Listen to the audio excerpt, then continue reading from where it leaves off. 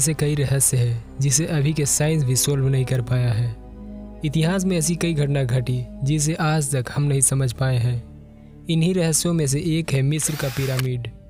यह इतना रहस्यमय है कि इसके बारे में सारी जानकारियाँ प्राप्त करना अभी तक विज्ञान के पहुँच से बाहर रहा है।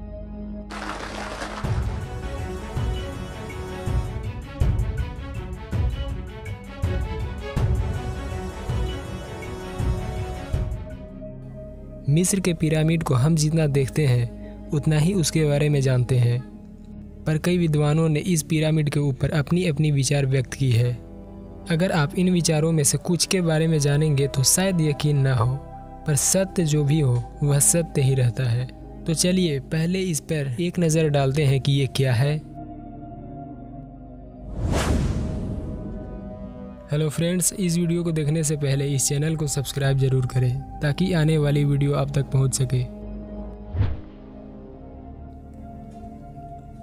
हकीकत में मिस्र के पिरामिड एक स्मारक स्थल है।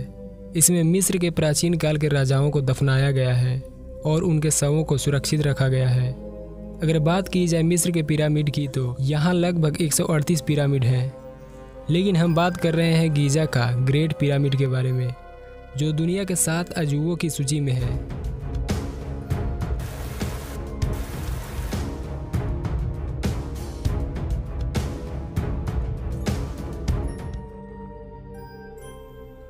इस पिरामिड का निर्माण करीब 2630 से 2610 ईसा पूर्व में की गई थी। माना जाता है कि इन पिरामिडों का निर्माण मिस्र के सम्राट खुफू ने करवाया था। ये करीब 450 फीट ऊँचा है। इसका आधार लगभग पचपन हज़ार मीटर का है। इस पिरामिड को लेकर हमेशा से सवाल उठता रहा है कि आखिर इतना विशाल पिरामिड का निर्माण कैसे किया गया था? उस वक्त ना कोई आधुनिक तकनीक थी। आखिर कैसे 450 फीट की ऊंचाई तक तरासे हुए विशाल सीले को पहुँचाया गया था? और इसे महज तेईस सालों में पूरा किया गया। इसके लिए दर्जनों श्रमिकों को साल के तीन सौ पैंसठ दिनों में हर 10 घंटे के काम के दौरान हर दूसरे मिनट में एक प्रस्तर खंड को रखना होगा। क्या ऐसा संभव था? विशेषज्ञों के मुताबिक पिरामिड के बाहर पाषाण खंडों को इतनी कुशलता से तरासा और फिट किया गया है कि जोड़ों में एक ब्लेड भी नहीं घुसाई जा सकती। मिस्र के पिरामिड के निर्माण में कई खगोलीय आधार भी पाए गए हैं। तीनों पिरामिड ओरियन राशि के तीन तारों के सीध में है।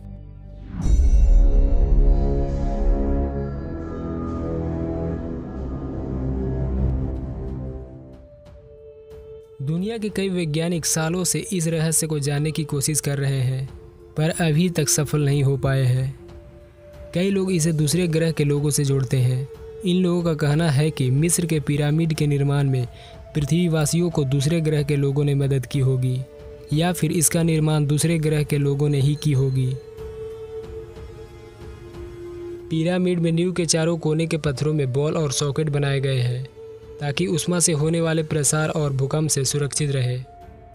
इस पिरामिड को प्राकृतिक आपदाओं से भी सुरक्षित रखने की कोशिश की गई है, जो यह दर्शाता है कि इसका निर्माण में कोई इंटेलिजेंस सिविलाइजेशन का हाथ रहा होगा।